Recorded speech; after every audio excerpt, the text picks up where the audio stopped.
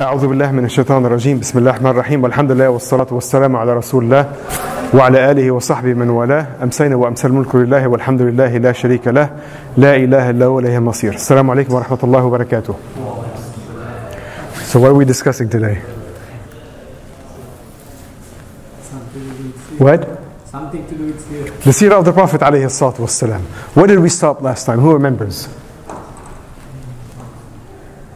Idris, where did we stop? What? When the Prophet was still alive. yeah, of course. When the Prophet was still alive. We actually got close to the migration of the Prophet والسلام.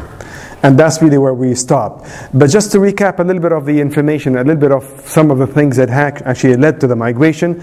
Remember that the Prophet والسلام, you know, after the death of Khadijah and the death of his uncle Abu Talib, the Prophet started looking for a place, for a base, for the da'wah, for the message. And he offered the message to different tribes that were coming to Medina at the time of Hajj in particular, and everybody was rejecting it. Until what happened, there was a group of people that came from Yathrib, which became later on uh, known as Al Medina. A few people from the Khazraj, seven people actually that came, and the Prophet ﷺ met with them and he offered them Islam, and they accepted that, but they said, Well, let's discuss it, let's, let us go back to our own people and discuss it with them. And the agreement was for them to meet again in the following year during Hajj time, and that's exactly what, what happened. So they met again during the 12th year after the revelation, during Hajj time, and they gave the Prophet ﷺ the first pledge of Al Aqaba. This is the first pledge. So it's the second visit, but it's the first pledge. And they asked the Prophet to send with them somebody that will teach him about Islam. And the Prophet ﷺ, well, can somebody close that door uh, if you don't mind? The brothers, mashallah, are very active outside. So the Prophet ﷺ sent with them Mus'ab bin Umair. That's why Mus'ab bin Umair was known as the first ambassador of Islam. So he was to prepare basically the environment of uh, Medina for the Prophet ﷺ's migration. And then true enough, his, you know, his job was very successful. And the following day, the following year, which was the, the 13th year, a group of people from Medina came and they gave the Prophet ﷺ the second pledge of Al Aqaba. And this time, basically, they pledged or they committed to the Prophet ﷺ that will believe in you and will support you and will defend you. So the Prophet ﷺ asked them for all of that, that they would listen and they would obey. So the Prophet would not be going to them as a refugee, but he was going to them as their leader. And this is an important actually part of the migration. So they're not, they're not just housing the Prophet ﷺ or giving him shelter. No, he's coming to them as the leader. And they asked him, what do we get in return? And the Prophet ﷺ said to them, you will have al-Jannah. So this is the one thing that you will have in return, nothing else. This is it. And to them, that was good enough for them to commit to the Prophet. Now, meanwhile, and the Prophet ﷺ at that time, again, I'm doing it very briefly, just recapping. The Prophet at that time, then he gave the command to the Muslims to migrate to Medina. And unlike the first migration to Abyssinia, which was optional, this migration was mandatory. So here the Prophet gave a command that you have to go to Medina. And this journey was not easy. That's why sometimes some of the uh, uh, tribes try to stop their own people from migrating, like what happened with the uh, Abu Salama, for example, where his wife and his son were left behind, and even Suhaib al-Rumi. The people actually did not even allow him to take his money with him. So the migration was not an easy journey, but this time was, was mandatory. So now the da'wah was to find, to start, or the message was to start from another source or another base, which is the city of uh, Medina. Meanwhile, the people of Mecca, of course, were concerned about you know the Muslims being united with their leaders. So they knew that the Muslims are starting to migrate gradually and discreetly into Medina. So now Medina became, or the city of Medina became basically a big place of gathering for the Muslims. But what that gathering actually lacks, for it to be of significant concern, is the leadership. That's what they were trying, the Mecca people were trying their best to prevent Prophet Muhammad والسلام, from joining the Muslims. Because once the leader joins the masses, so to speak, it becomes basically a big source of danger to them. He's going to be someone that will be uh, very powerful. So they tried their best basically to stop him. And eventually they came to the agreement after, you know, the meeting that they had in Dar al-Nadwa that basically they will have 11 young men from 11 tribes and these 11 young men were to go to the house of Prophet Muhammad والسلام, and when the Prophet Muhammad is to leave, when he was to leave, they would all jump on him and they would kill him at once. And the tribe of Prophet Muhammad would not be able to seek revenge because basically his blood will be spread over like 11 tribes. So they won't be able to take revenge from him. And then true enough, those 11 young men went and they stood by the door of Prophet Muhammad والسلام, and the Prophet والسلام, did not go out yet. And they did not break in. Inside the house with the Prophet والسلام, of course was the great companion, the cousin of Prophet والسلام, who later became his son-in-law, Ali bin Abi Talib radiallahu anhu. And Ali ibn Abi Talib, of course, was a young companion. Why did the Prophet actually have Ali with him? Because the people of Mecca, whenever they have anything of value, anything that is valuable, you know, that the best place to leave it with was Prophet Muhammad والسلام, even though they didn't believe in him, but they trusted him. And they trusted what he says. So they left some of the trust, some of their own valuables with Prophet Muhammad والسلام, as a trust. And Prophet Muhammad did not want to just leave to Medina, leaving all these trusts behind. He wanted to make sure that they go back to the people that they belong to. That's why he kept Ali bin Abi Talib radiallahu and he instructed him that this goes to that person, that goes to that person. So people started migrating. Among the people that did not migrate at that time, of course, was Abu Bakr as-Siddiq. And each time Abu Bakr Siddiq will get, will ask the Prophet for permission, should I migrate? And the Prophet would tell him, no, it's not time for you to migrate yet. Wait, Allah may give you, God may give you a companion on your journey. And he would repeat that request, and the Prophet would repeat the same answer. So Abu Bakr Siddiq basically, he stayed behind and he prepared two camels loaded with provisions, one for himself and one for that companion that the Prophet foretold him about. And of course, he was hoping that that companion will be the Prophet himself. Meanwhile, back to what was happening at the house of the Prophet So Prophet ﷺ instructed Ali bin Abi Talib that you will do the following, and he told him that you are to sleep in my bed. You can imagine how dangerous that would be. Because the Prophet knew what was happening outside, knew of those young men that were waiting to kill him. So for anyone to sleep in the bed of the Prophet ﷺ, this is the most dangerous thing basically. So he told him that you are to sleep in my bed, but he told him that they will not do any harm to you. So Allah guaranteed that they will not do any harm to you. So Ali bin Abi Talib slept in the bed of the Prophet, and in the middle of the night, when those 11 young men were waiting at the door of the Prophet, the Prophet ﷺ opened the door while reciting Surah Yasin. Yasin wal Quran al Hakim innaka lamin al mursalin until he reached the verse that says وجعلنا من بين أيديهم سدا ومن خلفهم سدا فأغشيناهم فهم لا يبصرون that we made a barrier before them and a barrier behind them so we cover their eyes and they will not be able to see and he went right among them and they did not see him and he even grabbed some dirt some, some, some sand from the ground and he put it on their heads to prove that I have passed among you and even put some dirt on your head, you did not even feel it. So he went among them and they did not see him, and then straight off to the house of his close companion Abu Bakr Siddiq. And Asma said, who narrated the hadith, she said that the Prophet came to us at a time that he doesn't normally visit us at. And although the Prophet doesn't normally visit us that late. So the Prophet والسلام, opened the door and he said to Abu Bakr as-Siddiq that uh, Ya Abu Bakr أخرج من عندك if you have anybody with you anyone visiting you visiting you ask them to leave and Abu Bakr said well they're only my, my children so there's nobody else and the Prophet told him that Ya Abu Bakr Allah subhanahu wa ta'ala commanded me to migrate Allah commanded me to migrate. Then immediately Abu Bakr as-Siddiq, As-Suhbata ya Rasulullah. Ya Rasulullah, your companionship. And the Prophet told him, As-Suhbata ya Abu Bakr, that you will have my companionship. Asma bint Abi Bakr said, I've never seen anybody cry out of happiness until I saw my father at that time. Again, keep in mind, you know, as dangerous as it was to be associated with the Prophet in any way. But that's how great the companions were. I just mentioned what Ali ibn Abi Talib did, what Abu Bakr Siddiq did, alayhi. But yet, the love of the Prophet alayhi goes beyond all of that.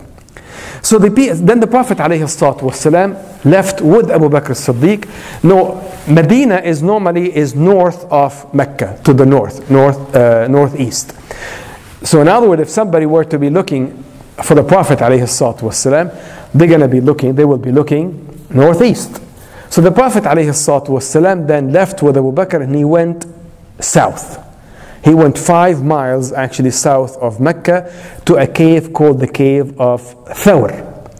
Meanwhile, what was happening actually in at the house of the, at the door of the Prophet ﷺ? Those young men kept on waiting and waiting and waiting, and Muhammad didn't come out until one of them, another man who was not with them when the Prophet left, came, and he said to them, what are you doing? They said, We're still waiting for Muhammad. And he said, Muhammad had left already.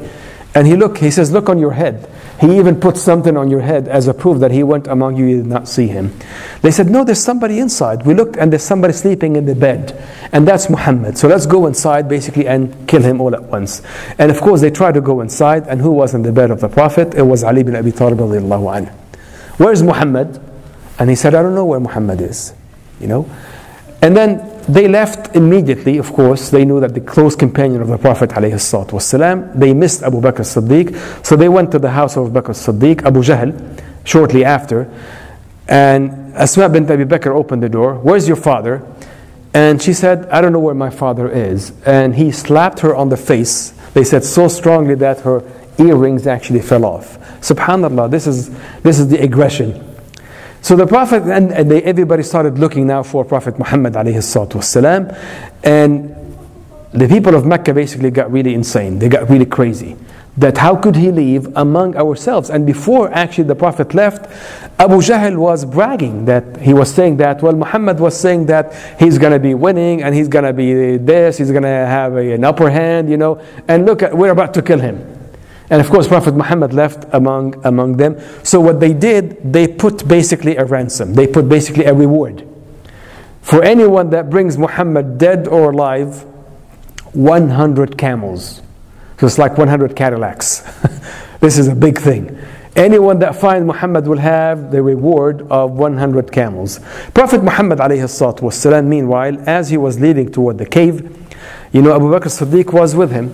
Abu Bakr Siddiq was really concerned about the Prophet ﷺ. So as they were leaving, and they left, by the way, on foot. They left toward the cave of Thawr on foot. So as he was leaving, you know, Abu Bakr Siddiq will go ahead of him, and then he will go behind. And he will go to the right, far right, and the far left. And the Prophet asked him, you know, what are you doing? You know, why are you going all these circles? And Abu Bakr Siddiq said that I fear that somebody might be ahead of you, waiting for you. So I'll go to check to make sure that the road is safe. Then I fear that somebody might be trying to catch up with you. So I go behind to check. And I fear the right, and then I fear the left. And the Prophet asks him, you know, to calm down, and he says that Allah is with us. God is with us. There's no need for you to be worried that much. And when they get to the cave of Thawr, of course, before they enter, Abu Bakr Siddiq then he checked the different pits, the different holes that they had in there. I mean, a cave definitely would have some spiders, scorpions, and bugs and snakes and whatnot. So he wanted to check all these different holes to make sure that they're safe enough before the Prophet ﷺ actually goes in.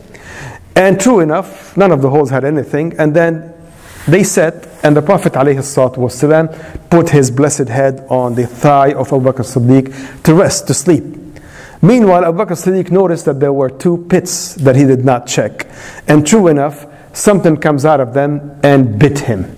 Something bit Abu Bakr Siddiq. Uh, and Abu Bakr Siddiq started feeling the pain and the poison, of course. But he did not want to wake the Prophet up because the Prophet was very tired. And it says the pain was so strong that Abu Bakr Siddiq started actually crying, tears came out of his eyes and dripped on the face of the Prophet والسلام, at which time the Prophet basically woke up. And he told him, what happened? Oh, nothing, just I was bitten by something. So the Prophet والسلام, then he blew actually in his, on his wound and Allah subhanahu wa ta'ala with that, he healed him. So meanwhile, the son of Abu Bakr Siddiq, Abdullah bin Abi Bakr, each night he will go and then join them. He will go and join them. He will spend the night with them in that cave. And early in the morning, he would leave and then go to the city so nobody would suspect anything and try to get some information.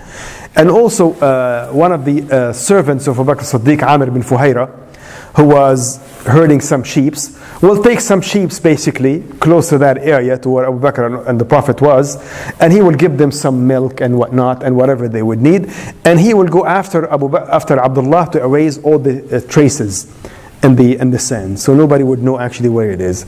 So again, meanwhile, of course, the people of Mecca started going crazy looking for Prophet Muhammad anywhere, and some people some people actually trying to follow Prophet Muhammad even managed to get to the gate or to the entrance of the cave. You know, here there's the story of the uh, spider web, which is not an authentic story, by the way. Uh, the authentic story said that they came to the gate, to the entrance of the cave. And Abu Bakr Siddiq said to the Prophet, this is the story in Bukhari. Abu Bakr Siddiq said to the Prophet والسلام, that I'm looking at their feet. And he says, if any one of them just managed to bend his head a little bit down, he would see us. In other words, if they just bend, manage to just bend their head a little bit and then look at us inside, they will see us. We're there. We're not really very close. It's not like a very deep cave. It's there. But the Prophet ﷺ told him, مَا ظَنُّكَ بِاثْنَيْنِ اللَّهُ ثَالِثُهُمَا What do you think of two, the third of which is Allah subhanahu wa ta'ala? And that's what Allah subhanahu wa ta'ala says in the Quran, وَثَانِ اثْنَيْنِ إِذْ هُمَا فِي الْغَارِ إِذْ يَقُولُ لِصَاحِبِهِ لَا تَحْزَنْ إِنَّ اللَّهَ مَعَنَا Allah subhanahu wa ta'ala says in the Quran that the two in the cave, you know, that he was the second of the two in the cave, uh, as they were in the cave, as he said, Prophet Muhammad, as he's saying to his companion, لِصَاحِبِهِ In other Allah is calling him his sahib. There's, if there's one sahib, it's that one.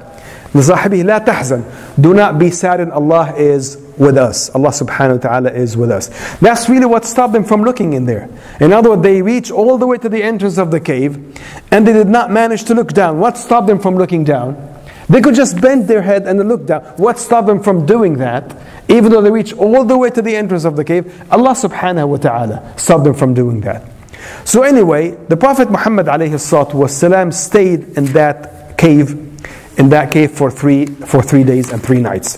So he stayed actually in there for uh, three days and three nights. After which, uh, this is Friday, Saturday, and uh, Sunday. Then on Monday, he decided to leave, to leave toward actually uh, the city of Yathrib. Again, meanwhile, Mecca is going crazy looking for Prophet Muhammad alayhi salatu So then. Uh, one of the people that was working for Abu Bakr Siddiq, his name is Urayqit, or Abdullah ibn Urayqit, or Arqad. Uh, he was not a Muslim, but he was someone that the Prophet and Abu Bakr trusted, and he was to be their guide in that journey toward Medina. You know, Medina is not that close to Mecca, you know. Uh, I mean, it takes about eight hours in the car to, to get there from Mecca to Medina. So, anyway, he was to be their guide, and he brought to the cave the two camels that Abu Bakr Siddiq had prepared for the journey. Remember that Abu Bakr Siddiq prepared two camels, one for himself and one for that companion, which was the Prophet. So he brought these two camels and for them, and he was to be their guide along that journey. And the Prophet asked him to take a path or a road that is not normally taken in the journey toward uh, Medina. We said that Medina is normally north uh, a little to the east. So when the Prophet والسلام, and Abu Bakr and Urayqit, they went to the west, close to the shore of the, of the Red Sea. And they went left on, on going uh, there. Meanwhile, again, like I said, everybody is uh, looking for them. And this happened, by the way, in the beginning of Rabi' al-Awwal. This is in the beginning of Rabi' al-Awwal of the 14th year after the revelation. The 14th year after the revelation. And as he was leaving, of course, a few things happened to him along the way. Among the people that he met on that journey was a person by the name of Suraq ibn Malik bin Ju'shum. So this Suraq ibn Malik was sitting among his tribesmen, and then somebody said, Well, you know, I saw a man, two men, you know, or three men basically traveling through the desert. And I think these are the men that Quraysh, Mecca, is looking for. And of course, there's a reward of 100 camels. Everybody knows about the 100 camels now. So when he said that this might be Muhammad and his companions, in other words, whoever goes and get them will have 100 camels. Then Suraqa ibn Malik, who was hearing that conversation, he said he did not want anybody to go. He wanted himself basically to go to be to go catch them and then get the 100 camels. So he said to them, "No, no, no, it's not. It's not uh, Muhammad and his people. I know who that was. This is so and so. They left looking for one of their own stray camels." So people would not go there. And then he got on his horse and then off basically to where uh, Muhammad and his companions were sighted. And Suraq ibn Malik, Malik was known to be a very capable horseman. So he never fell off of his horse. And then he saw them from a distance. He had a very fast horse, you know, and he goes after them in that direction and he sees them from a distance. So he knew that this was them.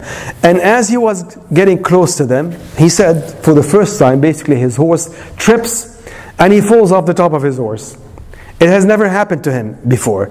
And then he goes until he really got really close uh, to them.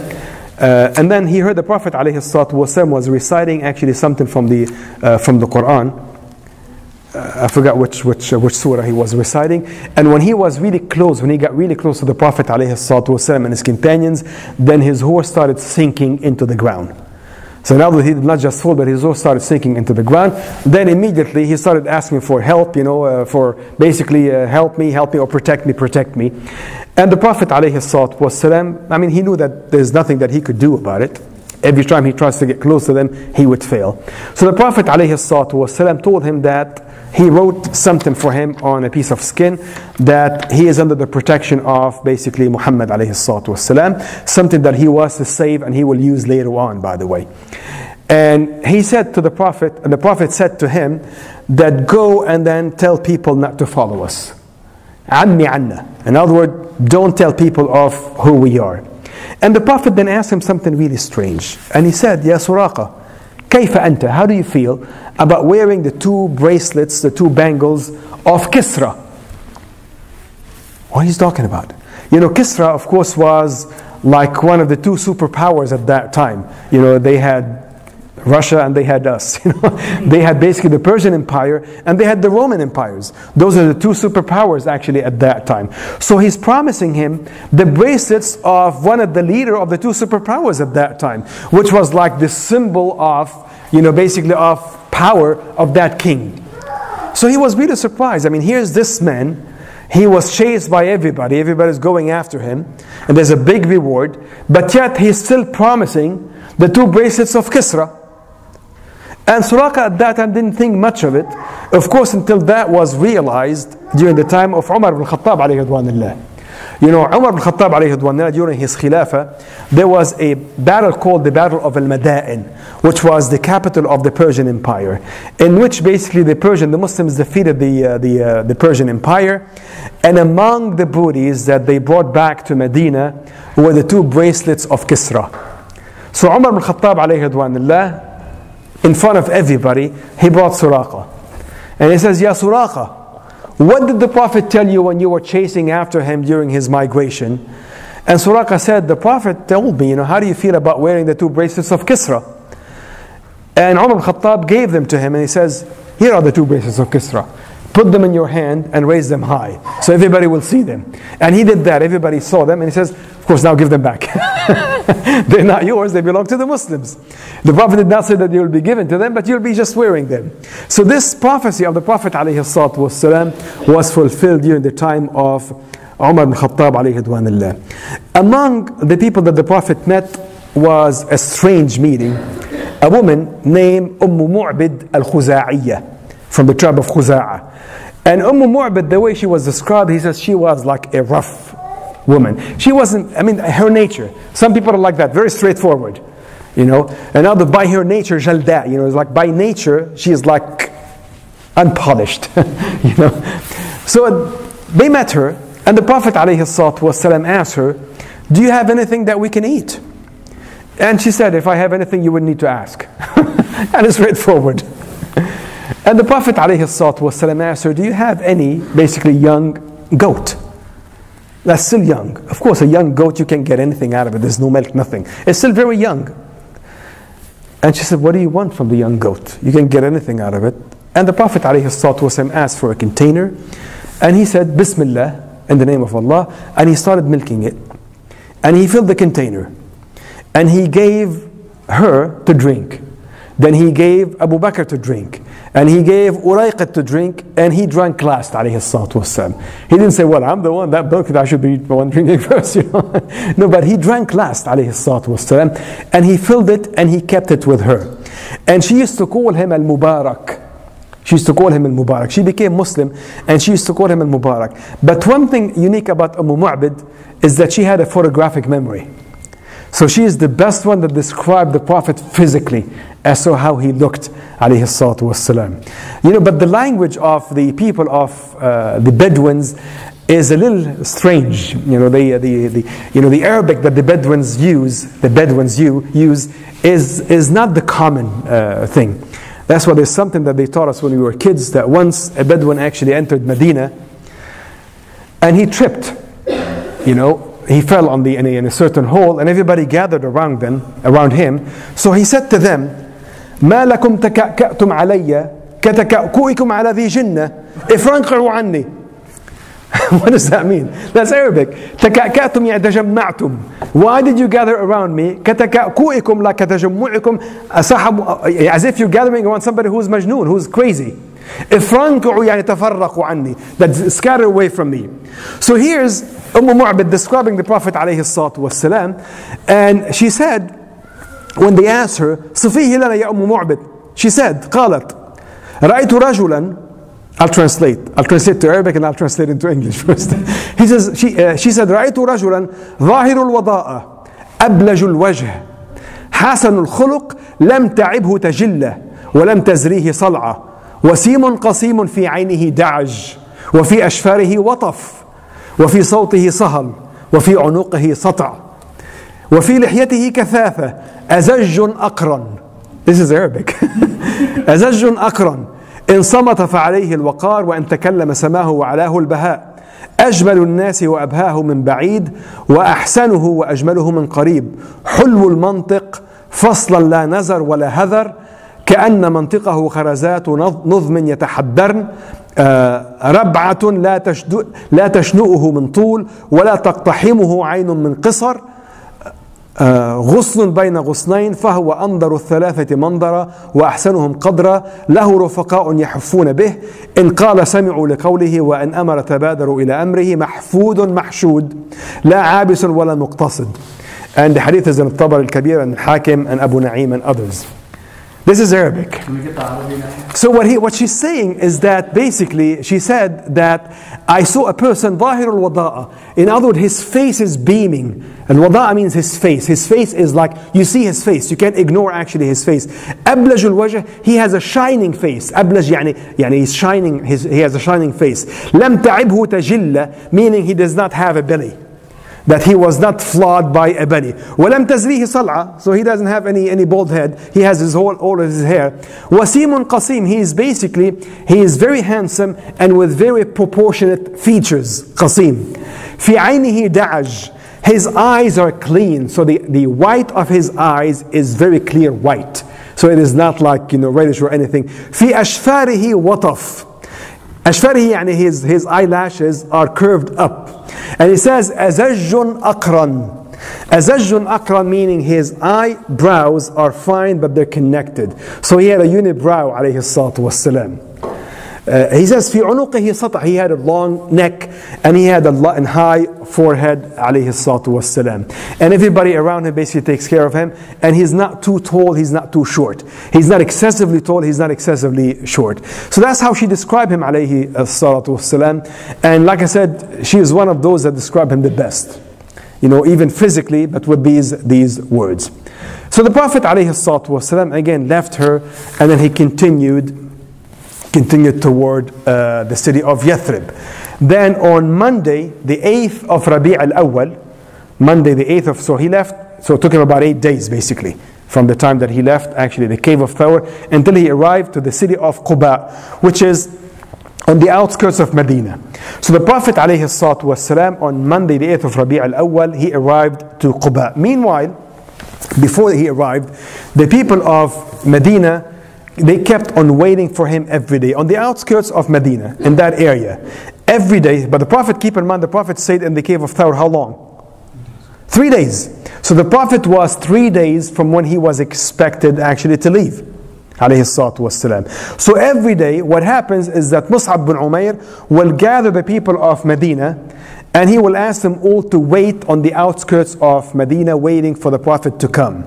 Again, to indicate clearly to them that we're not receiving a refugee, we're receiving our leader.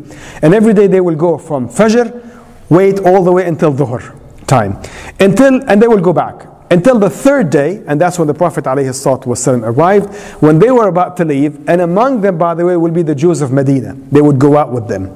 Then one of the uh, Jews of Medina, basically, he saw the people coming from a distance, and he said, and he shouted to the people of uh, the uh, Ansar, Ya Bani Qila, هذا حظكم قد جاء. Bani Qila, Qila is one of their own, like old grandmothers.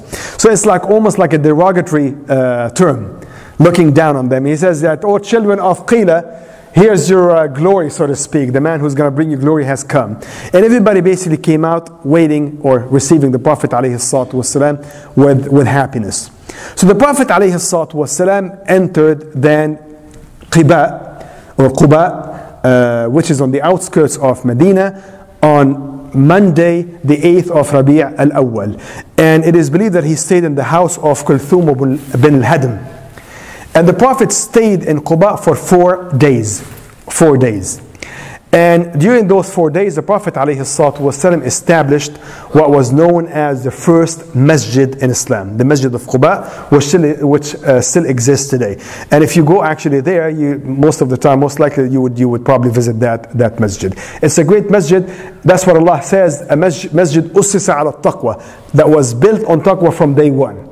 So it's really a great uh, masjid to visit and to pray in. Uh, and the Prophet stayed there for four days. Meanwhile, back in Medina, back in Mecca, Ali ibn Abi Talib anh, had distributed all the trust and giving it back to the people. And they said that even people trying to look for Prophet Muhammad, they even beat him, trying to basically get some information from him, but he did not say anything. And then he went off to Medina trying to catch up with Prophet Muhammad والسلام, on foot. Subhanallah. Can you imagine that?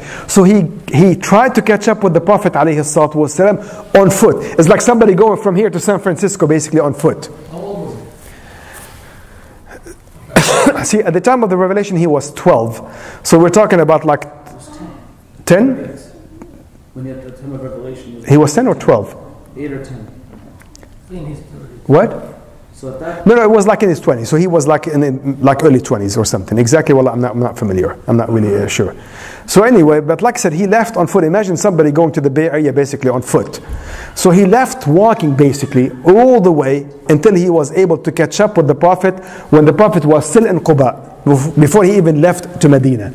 So he joined the Prophet والسلام, Abu Bakr as-Siddiq actually in, in Quba right before the Prophet actually left to Medina. So the Prophet stayed in there, and then he left. He left actually on on Friday, basically toward now Medina, and he prayed Jumu'ah when he was on his way in the land of Banu Salim bin Auf, and he was able to gather 100 people basically to pray with him Jumu'ah. But some people says, well, you need at least 100 people to have Jumu'ah. Of course not. This it just happened to be 100 people. So this is not like a legislation in there. So and then the Prophet والسلام, then he entered Medina.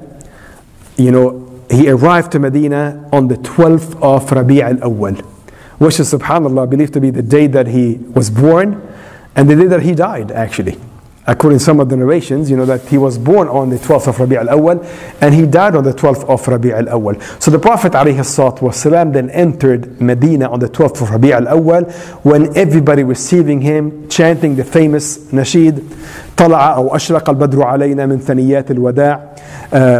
وجب الشكر علينا ما دعا لله داع. أيها المبعوث فينا جئت بالأمر المطاع. You know the famous nasheed that even is still sung until today. طلع البدر علينا من ثنيات الوداع. And everybody was happy and the Prophet عليه الصلاة والسلام entering Medina on his camel. And of course, everybody then tried to pull the camel. Ya Rasulullah, you stay at my place. Ya Rasulullah, you stay at my place. Everybody wants to be the host. Of course, who wouldn't be? the host of the Prophet was. Imagine if the Prophet is staying at your house. Subhanallah, imagine that. Everybody wants that. And the Prophet والسلام, said that leave the camel, خلوا سبيلها فأنها مأمورة. leave the camel for it is commanded by Allah subhanahu wa ta'ala. And wherever the camel was to stop, that will be the house of the Prophet and that will be the first masjid. And then it just happened that basically the camel stopped in a place that belonged to Banu Najjar, the maternal uncles of the Prophet wasalam. So the Prophet basically took that land and he paid, he, he bought it, he did not just confiscate it, you know, he bought that land and that was to become the first masjid as well as the house of the Prophet Muhammad alayhi salatu wasalam.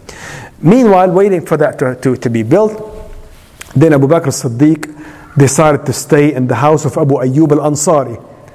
Because Abu Ayyub insisted on that. He had a two house, he had a duplex, he had a two story house, you know, and his house was close to where that land is, the masjid. So the Prophet والسلام, initially he told him that I will be downstairs, you know, and basically uh, you will be upstairs. And Abu Ayyub al-Ansari said, no, no, I cannot, you know, I cannot be above the Prophet How could that be? So he told, the Prophet told him that no, people actually visit, visit me a lot, so I don't want to make it difficult on you for them to go up there. So I will be downstairs and you'll be upstairs. So under the insistence of the Prophet alayhi Abu Ayyub al-Ansari decided to stay upstairs. But he had his son, but where, what he decided to do is that him, his wife, and his son would sleep right by the, by the, by the wall. In other words, nobody will dare sleep in the middle of the room. Because he did not want, he could not accept the idea that we are above the Prophet ﷺ. So he was basically, he asked his family to sleep basically as close as they could to the wall. And in the middle of the night, he says his son spilled some water. So he was really afraid that some of it actually would leak down over the Prophet, so he started basically drying it up. So it was a very difficult night. So the following night, he told the Prophet, Ya Rasulullah, we could not sleep the whole night. you know, why don't you go up there? And the Prophet ﷺ then agreed to that, basically to make it easy on him, and he stayed up there. Meanwhile, of course, everybody was helping with building the masjid of the Prophet ﷺ. And among the things, of course, the Prophet himself was himself was also carrying basically the uh, the stone and the building rocks like everybody else. He, he did not have any special treatment, wasalam. But something really strange uh, that one of the companions was carrying twice the load, and that was Ammar bin Yasir. And now everybody was carrying like one block, he was carrying twice. And the Prophet says basically that may Allah have mercy on you, and he says, تَقْتُلُهُ الْفِئَةُ الْبَاغِيَةُ That the transgressing group will be the one to kill him. Nobody understood, of course, what that means until later on, during the years of, of the fitna. Uh, that's, that's really what happened. Of course, he was on the side of Ali ibn Abi Talib. Anhu. So, anyway, they kept on building the masjid, of course. Uh, now, who was living in Yathrib at that time? Who was living in Medina at that time? Of course, there were the two main tribes the two main tribes of Al-Aws and the Khazraj. So the Medina was inhabited by the two main tribes of Al-Aws and Al-Khazraj. Most of them became Muslim, not all of them, but most of them had become Muslim already. But there were also some, uh, some Jewish people that were living in Medina. So there were some Jews that were living inside of Medina, some minor tribes like Banu Auf. But there were three major Jewish tribes that were living on the outskirts of Medina. The three main Jewish tribes. Anybody knows all three of them, besides Idris? And besides uh, Abu Ibrahim. Anybody knows the name of the three major Jewish tribes that were living in Medina? Anybody? Okay, there's Banu Qaynuqa, Banu Nadir, and Banu Quraydah. These are, these are important names to remember, by the way, because they're going to play a major role in the, in the rest of the story as we move on. So these are the three main Jewish tribes that were living actually in Medina. Now, in Medina, uh, Al-Aws and the Khazraj were always fighting with each other. So there were always like problems, you know, frictions between the two of them. So they were divided. And they agreed that they were to appoint a leader among them as will be the king of of uh, the city of uh, Yathrib. And that to be king, of course, was whom? No, no, no. That's before Islam.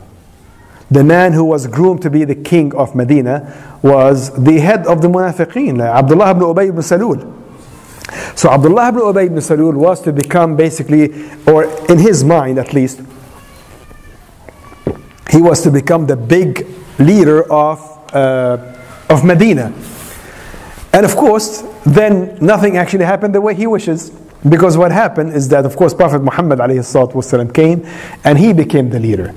That's why he hated the Prophet Muhammad والسلام, so much. He took that leadership away from him, you know. Uh, but of course, he pretended to be a Muslim. You know, that's why the way the munafiqeen, the hypocrites, what is a hypocrite, by the way? You know, the, the word hypocrite is something we commonly use among ourselves as somebody who doesn't practice what he preaches, somebody with a double face. We call them hypocrite. This is in the language. But idiomatically, or in the shara, istilahan, so to speak, in the Islamic knowledge, a hypocrite or a munafiq is somebody who consciously hides kufr.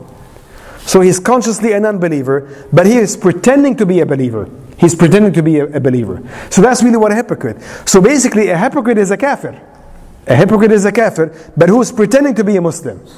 That's why you can never call anybody, by the way, a hypocrite. Why? Because if you were to call anybody hypocrite, the assumption here is that you know what's in their heart. But nobody knows what is in anybody's heart except God. So you can never qualify anybody as a hypocrite.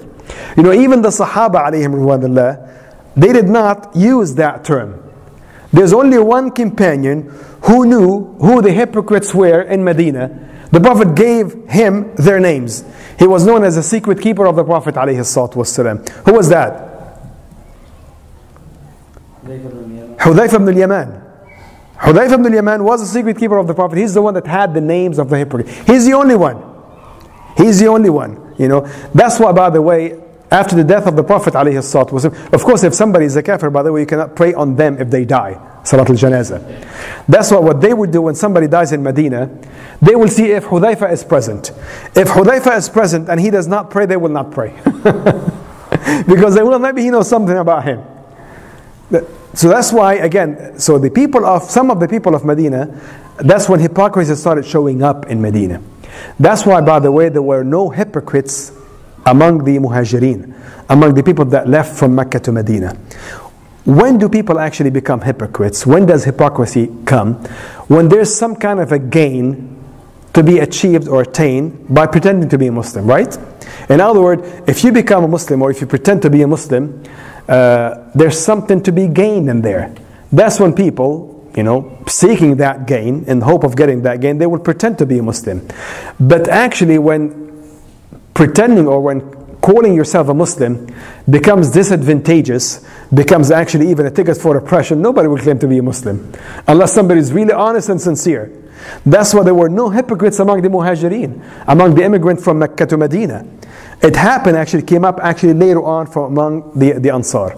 But we'll talk about that later on. Anyway, now, of course, now here's something that you see about the migration that the Prophet ﷺ basically had to plan that trip.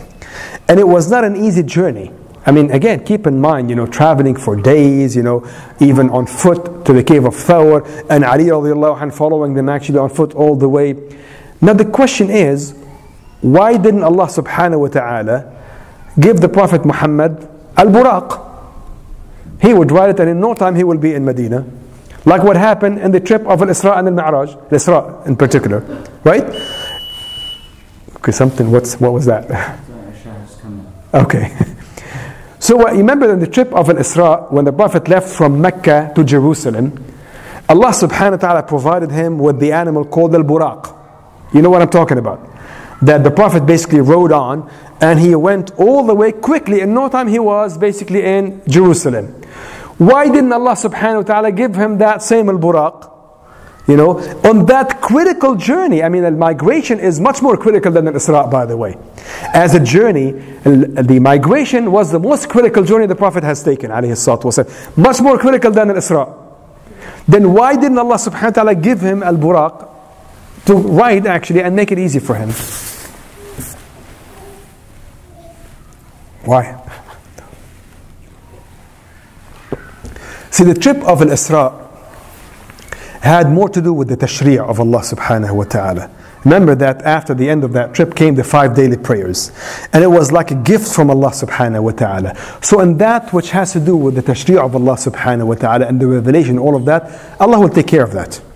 But when it comes to the da'wah, to the message, that has to be left to the effort of the individuals. With the blessing and support from Allah subhanahu wa ta'ala, of course, you know. But that has to be so as nobody will say, well, the Prophet had al buraq, you know. In other words, what, what do we have? No, no, no. The Prophet wasalam had it difficult like anybody else would. So the Prophet had to plan. He had to go south instead of going north. He had to take actually a different route to Medina. So he had to plan, he had to go through the hardship and the difficulty of the trip. Because here we're talking about the message, conveying the message and the da'wah. So when it comes to the message and the da'wah, here the miracle is not really the rule. The rule is that it is left to the effort of the individual with guidance from Allah subhanahu wa ta'ala and support from Allah. But it's the effort of the individuals. That's what the Prophet ﷺ had to migrate like all his other companions did. You know, like everybody else, there was nothing miraculous. Of course, there was a support of, you know, what happened to Umm Mu'bad al-Khuza'iyya and when he went to the cave and all of that. But overall, the journey was the effort of individuals. Was an individual and a human effort, and it was not a miraculous journey the way it was with the Isra and the Mi'raj. You know, which is a lesson for us that if you want to get into any da'wah project, you have to plan it really well. You cannot just, wallah, close your eyes, Allah will take care of everything. Yeah, of course, Allah will take care of everything. You know, but Allah subhanahu wa ta'ala has put laws for any course of action. There are certain laws and there are certain cause and effect. I cannot say just I will depend on Allah subhanahu wa ta'ala and Allah will take care of everything. Yeah, Allah will take care of everything, of course. Allah can, Allah did not even need the Prophet wasalam. But Allah subhanahu wa ta'ala has put a cause for every effect. And if the Prophet wasalam had to plan his migration journey, then everything else that we do had to be planned actually well. The Prophet himself had to plan it. In other words, the Prophet himself, it doesn't get any greater than that. And it, it, doesn't get any greater than the migration journey. But still, the Prophet had to plan it, had to plan it really well, and then counting on Allah subhanahu wa ta'ala. So after he went south, then he told Abu Bakr Siddiq, La تحزن إن الله معنا. Not just going there randomly, لا تحزن إن الله معنا. No, he planned it. He planned and he put Ali bin Abi Talib in there in his bed, again to deceive them and all of that. And then he went uh, south instead of going north. And then after that, لا تحزن إن الله معنا. So that's why this is an important da'wah lesson in there, that the da'wah effort has to be planned. It cannot be random. If the Prophet himself actually had to plan it, then everyone short of the Prophet والسلام, needs the planning more than the Prophet did. That's why everything has to be, has to be planned. Khair inshallah. So we're stopping here. What did the Prophet do والسلام, when he entered Medina? And what happened afterward? And how did the da'wah started going from success to another? And how basically the migration was the biggest turning point next to the revelation itself. You know, the biggest turning point was the revelation. The biggest turning point was the revelation itself. Next to the revelation, the biggest turning point was the migration itself. So inshallah we'll discuss that in our next meeting. Walhamdulillah Rabbil Alameen. شو بدي اعمل؟ خير ان شاء الله واياكم ان شاء الله I would have reached all the way to the battle of Badr, right? Any comment or question? The Aus and Khazraj, the two tribes. Aus, not Aus. Aus. Yes. That's what it is. Aus. Good. They were not, they were fighting, they were getting along fine. The one who put the split between Yes. were the Jews. Of Medina, yes, that's true. subhanahu wa ta'ala was making fun of them. Yes.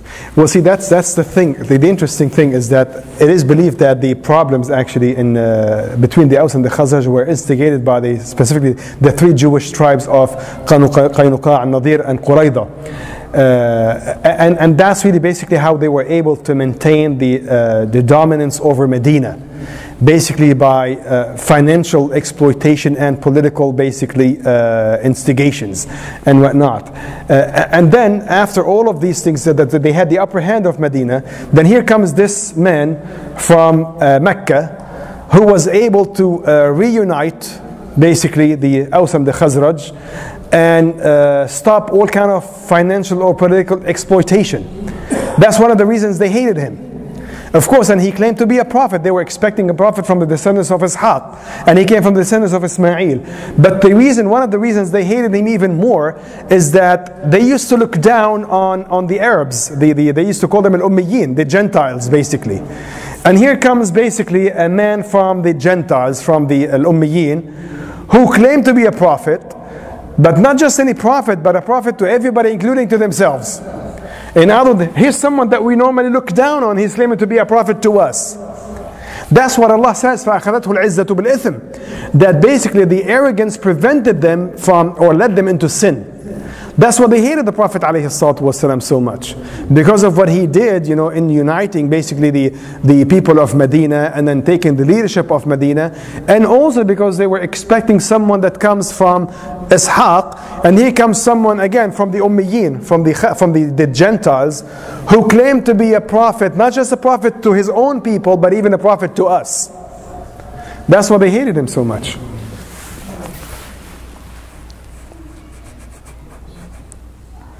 Any other comment or question? Going what? What? Now the Prophet والسلام, you know, and, and, of course, by the way, and, and this was not always an easy task. You know, even after Islam, there was still some effort into creating problems, like what happened, especially after Ghazwat Banu Mustaliq, and in some other instances that were instigated by Abdullah ibn Ubay ibn Salul himself You know, and then some of the other people. But the Prophet والسلام, was very firm, you know, in dealing with that. And he says, دعوها فأنها منتنة, that leave it, it's a stinking cold. And he says, أو دعوة الجاهلية وأنا بين ظهرانيكم. How can you revert back into jahiliyyah and ignorance when I'm still among you? So the Prophet والسلام, still put some effort into getting them out of jahiliyyah. Of course, until eventually all of it was dissipated. والله One of the ways he He did? Which tribes? He, he did? Who, who was that? Which wives? No, which, which were the wives? No, no, no, no, it's not. Now, the wives of the Prophet, ﷺ, we'll talk about that. Each of them has its own story, but not, not for that reason. This is not. The Prophet, ﷺ, by the way, by then, he was married to Sauda bint Zumu'ah, who was with him, and he was married to Aisha, but he did not consummate the marriage until after the migration. And by the way, here the stories about Aisha being actually nine years of age, you know, the hadith putting them together. Listen, ya Jamia, brothers, please focus with me. You know, that the stories actually that Aisha alayhi putting all the hadith together, that Aisha seems to be at least 14 years of age when the Prophet married her. Unlike, you know, what the narration says about, uh, you know, Urwa ibn Hisham, that, that she was basically nine years old. That the age of Aisha when the Prophet married her seems to be putting all the narrations together was uh, most likely actually around 14 years of age. One of the hadith says that all of the children of the Prophet of Abu Bakr were born before Islam. So that's before, before the migration. But the Prophet ﷺ was married to Sauda bint Zumu'ah by then. You know, and then Aisha later on, radwanillah, and of course after that then came Umm Salama, you know, because actually her son, after her husband actually died, you know, and Umm Habiba when her husband died, when she was actually in Abyssinia, uh, you know, that uh, basically the, she was the daughter of Abu, uh, uh, Abu Sufyan, uh, and she was the only one who was a Muslim. And to show her status, the Prophet married her. And then Juwayriya bint al-Harith from Banu al-Mustaliq, you know, and then, uh, of course, and then uh, uh, Zainab uh, bint Jahsh, you know, after Zayd bin Haritha actually married her to indicate the thing of the, uh, uh, the, the adoption and all of these things. So they had, each of them have, have a reason. And of course, Hafsa bint uh, Umar bin Khattab, alayhi. And there were others as well. But we'll talk about maybe all of them together, inshallah, in one lectures as to who the Prophet married and why did he marry them. And why did he marry them, alayhi salatu wassalam. Any, any other comments or question? Going once, going twice. خير إن شاء الله. طيب جزاكم الله خير. سبحانك اللهم وبحمدك نشهد أن لا إله إلا أنت نستغفرك ونتوب إليك. أعوذ بالله من الشيطان الرجيم. بسم الله الرحمن الرحيم. والعصر إن الإنسان لفي خسر إلا الذين آمنوا وعملوا الصالحات وتواصوا بالحق وتواصوا بالصبر.